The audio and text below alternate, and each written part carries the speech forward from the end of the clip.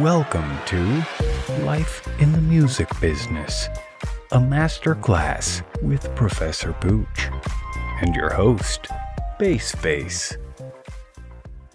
Hey, what's going on, Professor Pooch? Hey, how you doing? Everything's good here, or is they? It's funny because people say, "Have a good day." You know, to me, I don't want to have a good day. I want to have a great day. You know, I mean, kind of a thing. But I, I catch myself, and I, I don't knock them for saying it. Once in a while, they'll say, "Have a great day," and I say, "Cool, yeah, you know, have a great day." Now everything's good here. How's you? Everything's great over here. Okay, a uh, great, grateful dead. Right, Grateful Dead. From the top, we can just start by saying that this is going to be a masterclass podcast explaining everything from the music industry and all the business behind it. So Professor Pooch is a legend in the game. oh, jeez. Legend makes me sound like I'm dead. uh, well, he's he's alive. Well, I'm grateful dead. Uh, I mean, yeah, I've been doing this for 50 years, so you know. And one of my main things is to pass this information on to everybody else because I ain't doing it for another 50 years. That's for sure. I can guarantee that almost, almost guarantee that. And yeah, we're going to be all over the place. But the idea is this is going to be different than any master class you could possibly picture because most master class, first of all, I started master classes with my quote unquote students. We did it right here at the Pooch Palace back in 2011. And uh, until we couldn't match up schedules, then it became on Facebook. And now we're doing it again. It's fun. But the idea is that, yeah, we're going to pass on a, a lot of knowledge and stuff. But the main thing we're going to be pass on, passing on is how to use that knowledge so it actually helps. We'll tell real stories and what's really going on and stuff like that. And, the idea is we're gonna have fun, man, and just hope you have a great time. You can always send us questions. Just send questions to ask, like ASK, at professorpooch.com. Well, look, uh, you know, like you're quote unquote the student here, even though it's a master class. Uh, how did you get started in the music industry? I grew up being a musician since I was the age uh, seven. I started playing piano, and uh, music was always something that would just like stay with me throughout my entire life. So when I was, believe it was 2013, um, I just had graduated high school, and I I decided that I wanted to pursue a, a, a career as an audio engineer. So I taught myself how to produce. I picked back up on my lessons, um, studied uh, contemporary songwriting to be able to understand all the theory and um, formulas to to writing hit songs and then from there i kind of uh, went up more into production and just kind of wanted to disassemble a song and, and make it from scratch with somebody and create a vibe and that's where i've really focused my Ah, five years Yeah, creative vibe. That's super important. Man, you know, a song should create a mood. As I put it, you know, it should, I call it take a great song takes you on a mini vacation to another dimension. You know, when you hear a song, it just takes you away someplace. It's really cool. yeah Uh, so, but you're doing mostly uh, like producing and stuff right now and uh, producing engineering and a lot of that stuff. Yes, sir. Uh, currently, I'm working at Jungle City Studios out in New York City. Um, I'm just building my way up through that that entire studio. It's a it's a great place to work, and um, from there, I run my own studio as well, as where I'm sitting in right now. Yep. This is where I have all my clients. We do a lot of production, songwriting, uh, everything. Well, yeah, you show them with your camera. Oh yeah. so I can give you guys a little tour real quick. Uh, Real quick. Yeah. like uh, I got my whole setup right here. As you Oh, geez. Yeah. Okay. I Yeah. got it. switch the camera up on you real quick. But um, yeah, so I mean, I've been doing this a long time. I enjoy it. I love it. I met Professor Pooch about two, three years ago, and from there we just uh, worked back and forth. He Basically, just being a, a, a huge help with my entire career because everything he's given me is just the truth and, and the understanding of what it's like to actually be in this type of business. Well, you know, it's really funny. You said you started out seven or so with the piano. I started out at seven with the violin. And then I realized, first of all, I sucked at it. Uh, I was in the school orchestra because I guess they put anybody in there. And the funny thing is, though, or the good thing is, I saw all these other instruments and was able to learn you know, what the instruments did, what they sounded like. So it was really helpful. Except by the age of 13, I was into rock and roll, and it's really hard to write rock and roll on a violin. So I taught myself guitar and then eventually taught myself piano and things like that. And I got into producing. The way I got into what I'm doing now in educating and guiding careers, I'm a contract specialist, et cetera, et cetera. I've written books, et cetera. Uh, what happened to me was I had, uh, this goes back, whoa, when I first started, I was with the majors. There was no indie anything back then, okay?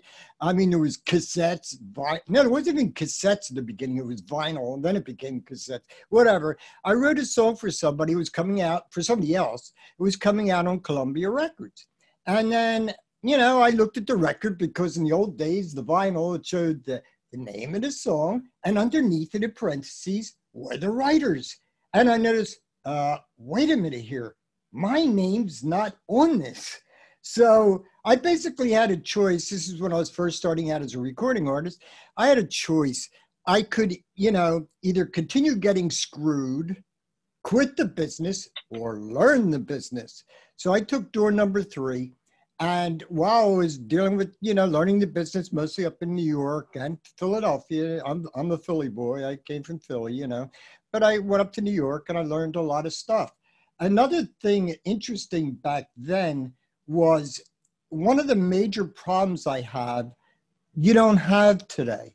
And one of the major problems was they were trying to make me into something I wasn't and they were trying to make me into this quote unquote pretty boy singer. Well, I'm still pretty, but you know what I mean.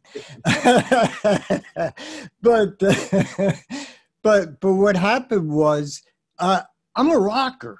That's just who I am. I, I'm I'm in all styles of music. The music business is the music business, but I'm a rocker. They're trying to make me into somebody I wasn't.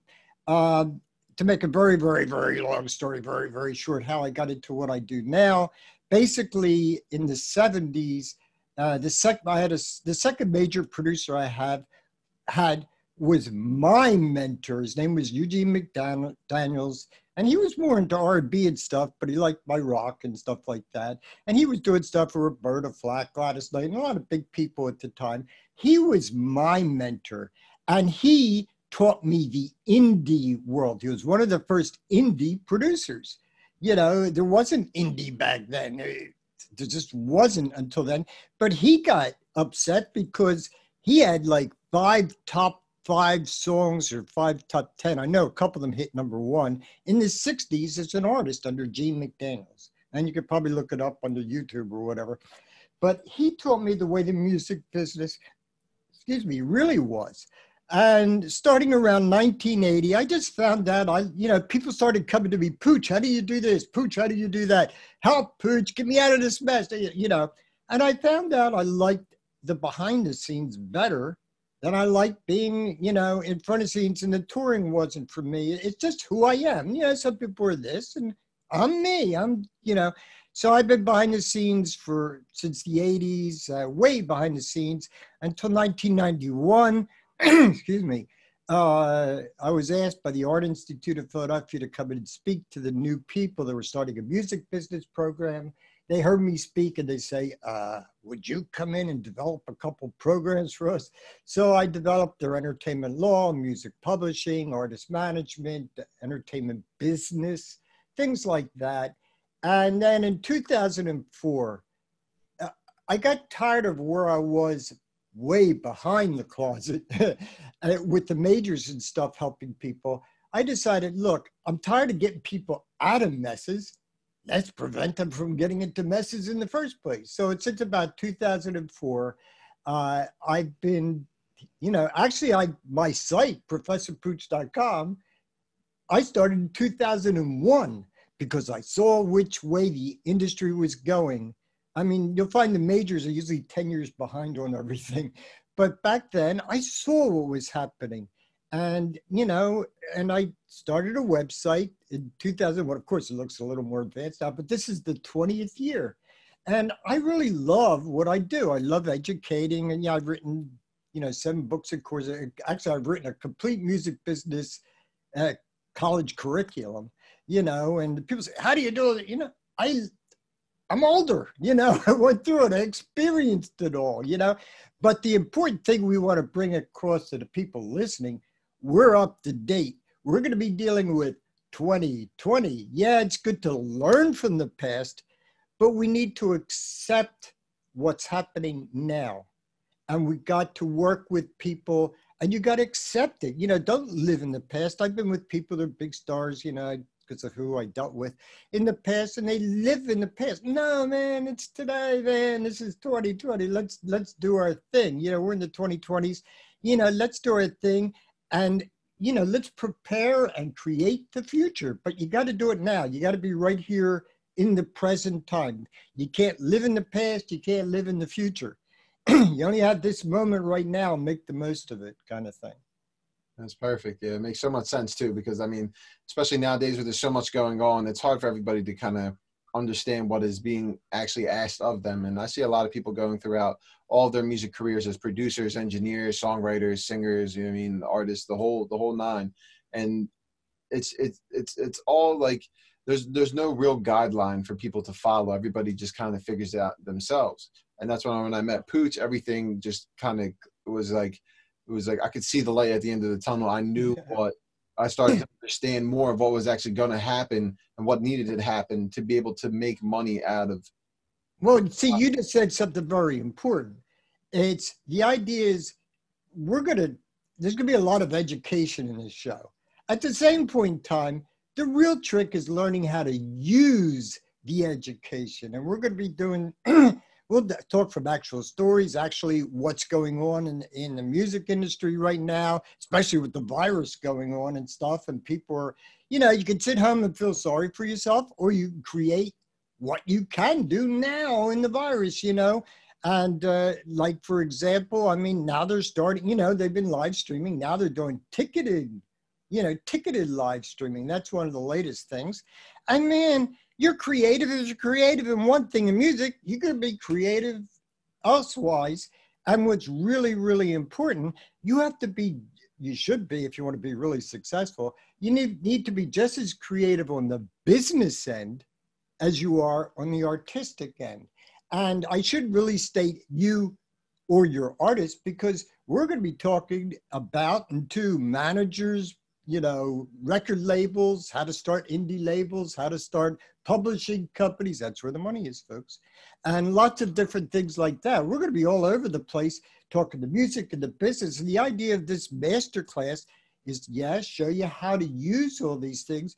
But we're not going to hand, we don't want to just do like, all right, today we're covering artist development, uh, you know, and stick to that. We're going to talk like, okay, you're a producer. Okay, what are you going to say to that manager? What are you going to say to that artist? What do you want to do after you have that recording? What about going to a label, a production company, or start your own? You know, the idea is I try to, with my clients, especially and associates, get them to own everything. You don't want to just be the songwriter, you want to be the publisher. Just like the artist is the creative person and the manager is their business person. person. Songwriter, you're the creative person. The publishing company is the business side of songwriting. And you could be both. Why not? Deal from strength, folks.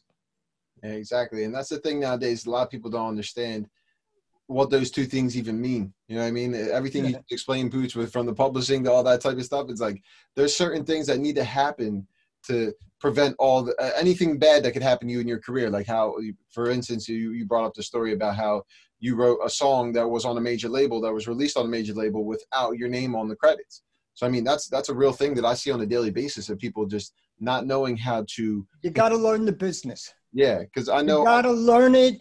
I'm sorry if you're just going to sit back and be an artist and think you could become a star that way. It ain't going to happen, folks. Or you're going to get screwed, and you don't want to get screwed, man. You you you know you want to become a success. Now I'm going to define success a little different than most people see it. To me, success people see success as millions of fans and you know a lot of power and stuff to me success is doing what you love to do and making a comfortable living at it you know what i mean it why not you know enjoy it And by the way, a funny thing is, you'll look at these a lot of these people doing what they don't want to do to make a lot of money. Interview them, talk to them. You're going to find out they're very unhappy people because they're not doing what they really love to do. Yeah, and and that's the thing is like you don't you don't necessarily need when it comes to success everybody sees it in diamonds jewels women and it's like at the end of the day it's like you you need you need to have that inquisitive mind to learn the business and understand what it is that you do uh, for a living and have done for the last 50 years. I mean it's an incredible feat in one and two it's the, the amount of people you've helped with your own content and material that you've taken the time to continuously update year by year audio oh, and more than more than yearly believe me. You know copyright prices change. Oh went up to this to that you know and i it's got to be up to date all the time. Yeah there's so there's so many inner working pieces of of the of the puzzle and the the music is they say is only the the is 20% of the entire 100% of the business but it is the most important 20% because every everybody else's uh, careers are based off of that. All the managers the the booking agents the publicists all the all that comes from the music. And if if you're not if you're not in a position to own your own material and and your publishing and understand what licensing is and how to be able to capitalize on uh, a negotiation then it's it, you're going to be you're going to be caught up in a few problems right off. A few, a few problems. Yeah, I mean, and by the way, folks, we're going to be look. Some people want to go with the major. Some people, you know, want to do it, stay independent, and you know, there's middle grounds of like smaller kind of labels and stuff like that.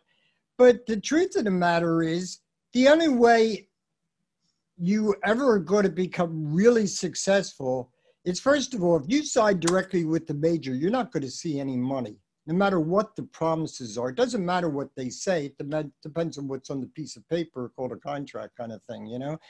And the idea is you have to start, the fact of the matter is you have to start out yourself and get the majors to come to you because then you're dealing from strength instead of from weakness you know, if, if example, if you go straight to a label, there's people making, oh man, yeah, they say, oh, they got millions and millions of fans, millions of, yeah, but they're not making any money unless they make it elsewhere.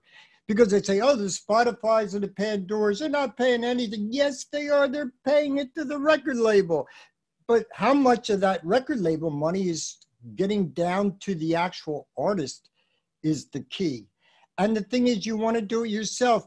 Do it like great examples are like Macklemore or Arcade Fire, where they were turned down, excuse me, by the majors or whatever.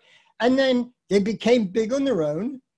The record labels come crawling to them. That's what happens, folks. They're going to hear about you if you they're going to if you create a buzz and have this streams and all that, et cetera, et cetera. YouTube views, you know what I mean. And uh, they're going to come to you and you're going to be able to deal from strength. Instead of them saying this is the way it's going to be you can say look i made it with my songs not the ones you picked from your friends for me to do. You know what i mean? I made it from my songs. You want me you're taking my songs. Well, you're not, I'm not giving it to you. I'm keeping the publishing. you know, things like that. It's just knowledge. It's learning how to use the knowledge is the key. Yeah, knowledge is power unless you know how to use it. You know, I yeah. mean, it's it's power regardless because I mean, knowledge is is the is. Just... Yeah, but yeah, you need the knowledge, and then see the way I look at it is I have all this knowledge because I've been in it for so long. Okay. You know, 50 years in the industry, I better have some knowledge or I'm in trouble. Okay. You know, uh, I'd probably be out in the street, you know. Yeah. But yeah, you use it, but you have to be able to use the knowledge. And the funny part is, what I do, I'll, I'll show you exactly how I work. I have all this knowledge, it's like on the left side of the brain. But I'm basically a creative person. I'm a songwriter, you know, I was an artist, et cetera, et cetera. So I use my creativity on the right side of the brain and take the knowledge I need and create it to use the way I want to use it, that knowledge to be able to solve problems for myself and other people. You know, so I can help everybody. It's it's learning how to use that knowledge using creativity. We'll be going through a lot of this.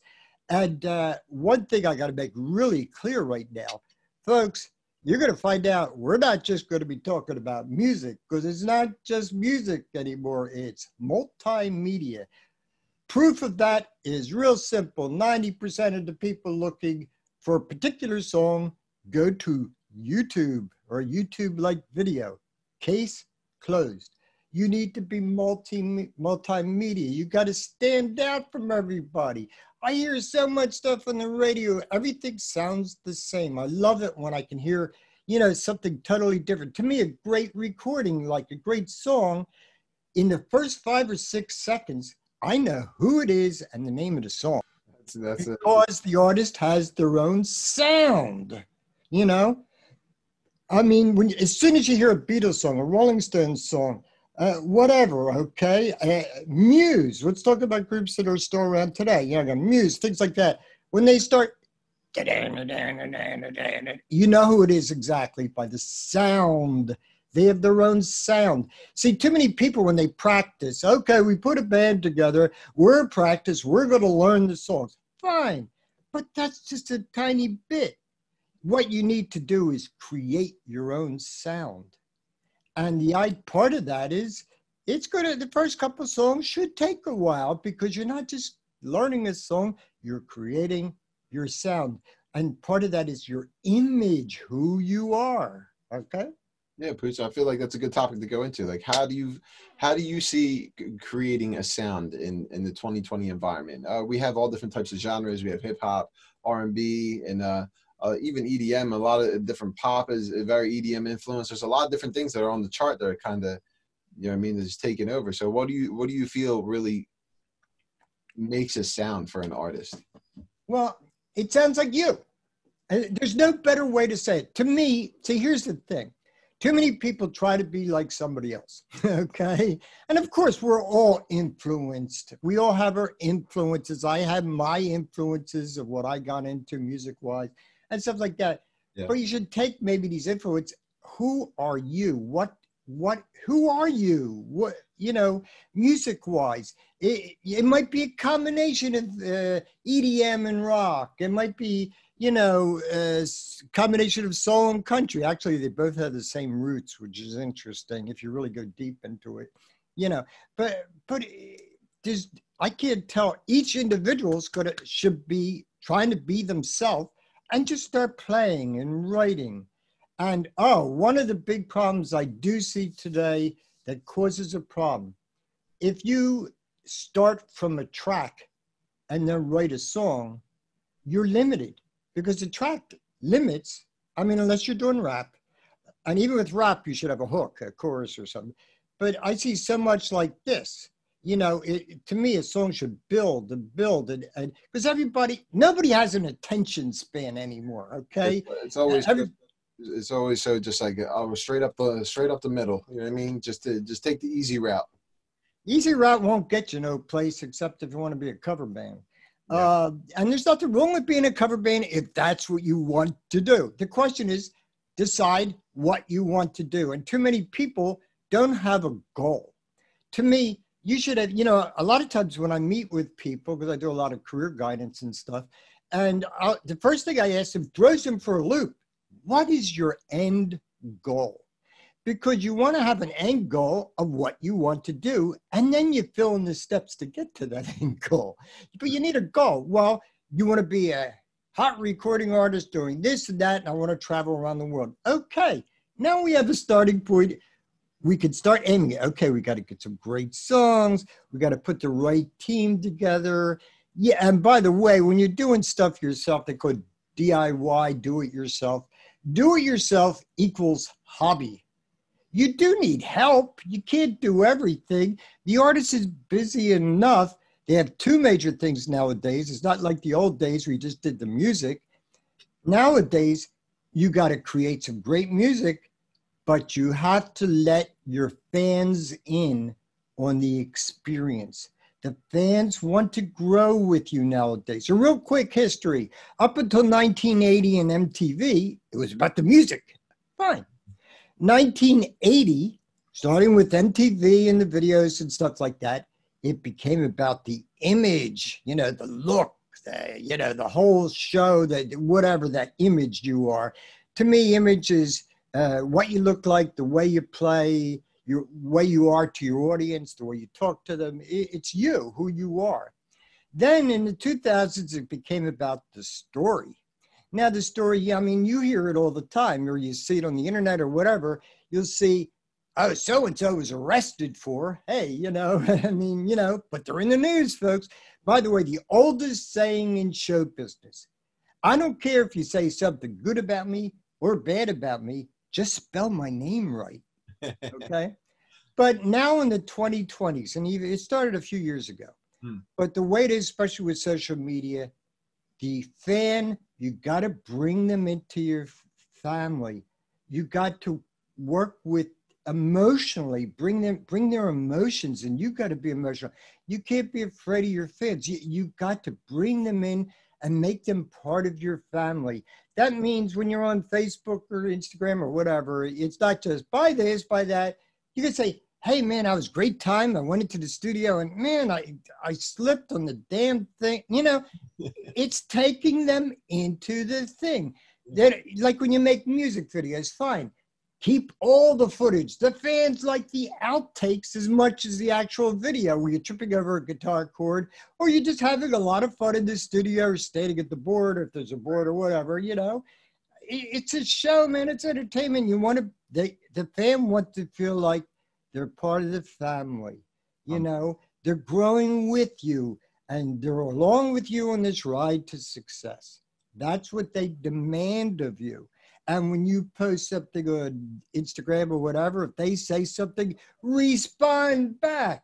You got to treat them as family. Yes, it takes effort, but real simply, when I guide people, the ones that are successful are the ones that put the effort into it. I can show them how to do it and how to be successful, but they still got to put effort in. They don't want to hear from me. They want to hear from the artist, yeah, you know?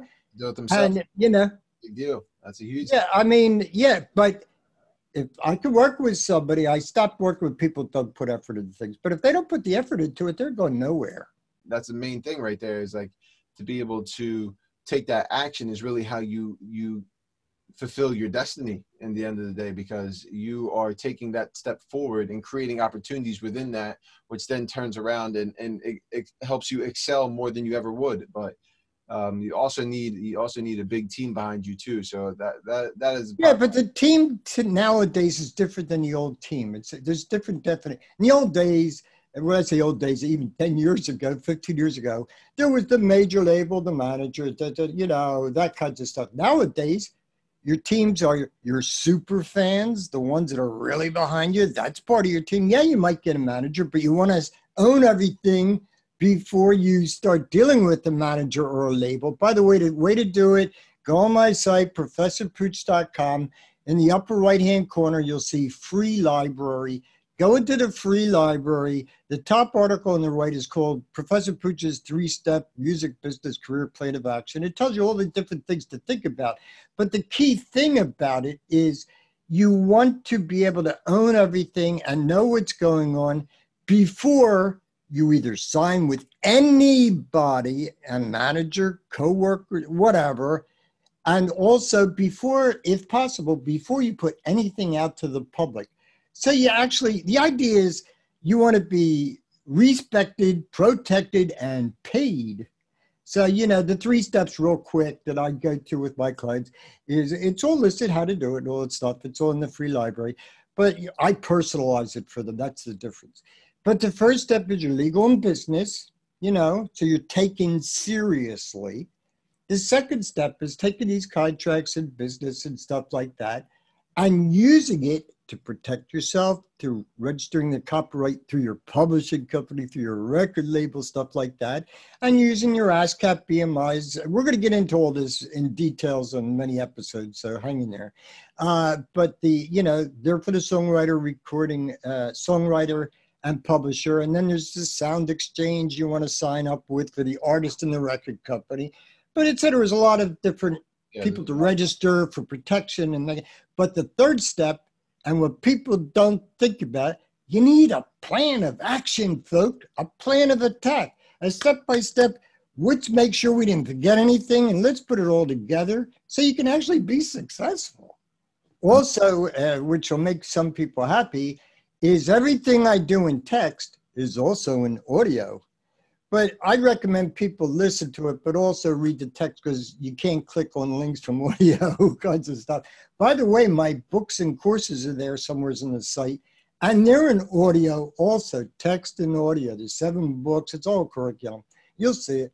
And you know, professorpooch.com. Just look around. It's a free site to go through. You know, and there's plenty of free information, how to start a record company, the three step thing, my state of the music business address, what to do during the virus to keep moving forward, uh, how to license music for TV and film, et cetera, et cetera. It's all free in the free library. Folks, go through it, have fun, you know, learn. You right. know, if, and if you want to be successful yeah, and be respected, protected, and paid. I love that phrase right there. It's just. I, that's not my phrase, I don't think.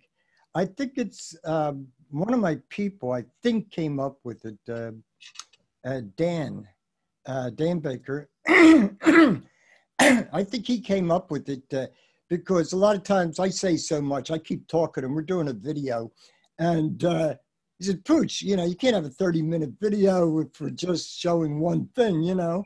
So yeah. he'll sometimes reduce things. I th- I'm pretty sure he was the guy that came up with respected, protected, and paid. I loved it, so I use it. Yeah, I, I give him credit, you know. I don't take credit for what I didn't do, you know. Mm-hmm. Oh, wait, one more, couple quick things since we're basically doing an introductory kind of everything. As you see, we're talking in plain, simple people talk. Mm-hmm. You know, none of that highfalutin stuff, you know. The oratory of the. If I use any big words, believe me, I'll be happy to explain it. Hey, my contracts are even in English, you know? Drives lawyers crazy, by the way. It, it's fun though. They, will say, Pooch, you can't do that because I deal with a lot of lawyers because I'm negotiating for people, you know, my clients, etc. They say, you can't do that. I say, why not? That contract is just what two or more people will agree to. You just got to, you know, if you're going to use a, a, a lawyer, fine, make sure they're an entertainment lawyer who's really with the music industry, okay? You know, don't get a, a, a hit and run lawyer to do your music business kind of stuff because they don't they have to have the knowledge of the music industry to be able to negotiate a contract for the music industry. So anything else uh, we're going to have fun. The idea is to have fun with this tell stories uh, you know just have a great time but learn the industry and you know in simple language and by the way it doesn't matter if you're just starting out or you already had 10 hit records and stuff i work for people all day. And doesn't matter what style of music, what stage of your career, it doesn't matter. We're going to be all over the place, but it, it all works that way. That's real life, folks. That's why this is called life in the music business. We're going to be dealing with all kinds of people. You know, if we like talk about, we're not going to talk about just being a producer. When you're being with a producer, okay, you're dealing with the record company, maybe. How do you deal with this artist in this studio who's not understanding that you know it's not just about singing. You can't think. You got to communicate so you can feel that artist speaking. You know we're going to get into the creative end the business end and the legal end in simple language folks. People talk. Yeah exactly. And that's the best that's the best thing about it is it's, it's more of a laid back vibe. Um, everything is based off of facts you know what i mean over 50 years of, of proven history that um, you know what I mean? And we just keep adapting and we're going to be teaching, doing everything that we can to really help the community and push the culture forward in that regard and um, just continue to, to spread the knowledge, you know? I think we can draw this thing to a close right now because otherwise, I mean, we're probably frying people. But the thing is, we're going to be all over the place. We're going to be covering tons and tons of important topics. We'll get into things like metadata and things like maybe you don't know about and things like that. We're going to go into a lot of stuff. And if you want to ask any questions, oh, just be specific. Don't say, how do I become a star? Or I will, it will be a 40 hour show of just beginning at it. You know, like, how do I deal with SoundExchange? Or this, you know, be specific. You know, well, I ran into a problem with this contract. This person says, sign it or, you know, sign it or leave. And my thing is, hey, something, you know, obviously not only wrong with the contract if they're not going to let you to take it to somebody like me or an entertainment attorney you know there's not only something wrong with the contract there's something wrong with that person giving it to you. So we're going to be going through everything you know and it's going to be tons of shows all over the you know we're going to be all over the place. But this is how you learn the industry. It's not just learning one course and then another course. You know we want to have it be fun. We'll tell some funny stories and i mean there's tons of funny stories. Well, sometimes they weren't funny for the people when it happened, mm-hmm. but you know, but you know, you learn from it. That's all. You know, you can't be afraid of making mistakes. If you're afraid of making mistakes, you get no place. You know, they always say that in every joke, there's a little bit of truth. Well, yeah, and we all do stupid things. We all make mistakes. It, it, the way I put it is, yeah, I mean, I've caught myself saying some stupid stuff, and you know, I've did embarrassing stuff. But then, like, I was told enough through the years. Well, a year from now, you'll laugh about it. Well, all I did was I moved the timetable up to now. And if I do something stupid, I just laugh about it. You know, what the heck? You know, I ain't waiting a year to laugh about it. You know, whatever happened, whatever I said, whatever I did, is past tense. You yeah. can't change it. You know what I mean? You just got to deal with it and just uh, understand the what you did and just kind of learn from it and move on. You know what I mean? You can't. You yeah, well, that's that's it. You don't fail until you quit. Failing is just giving you a course correction. Okay, this way or thing didn't work. Let's make an adjustment. The greatest example of that is Edison. He created the light bulb. It took him, this is true, look it up, 10,000 mistakes until he created a light bulb that was commercially viable that actually could go out there. 10,000 mistakes. Right. If you don't make mistakes, it means you're not living, you're not doing anything. The logical thing that it would be to think that the 10,000 mistakes equates to 10,000 hours. But in all reality, he probably had about, back, especially back in that time, he probably had like 50,000 hours of time just to get that one final product that really just proved that he could he could be a staple of the industry. You know? Yeah, I'd love to ask him sometime, but that's gonna be a little difficult. but yeah, he ended up creating quite a lot of stuff and you know things like that. So that is that, Pooch. Uh, this is the the end of the life in the music business. The beginning of well, the beginning of the life in the music business, and uh, yeah, it's the end of this show. Yeah, but uh, yeah, stay tuned for the next episode. Thanks for watching. Tune in for the next episode.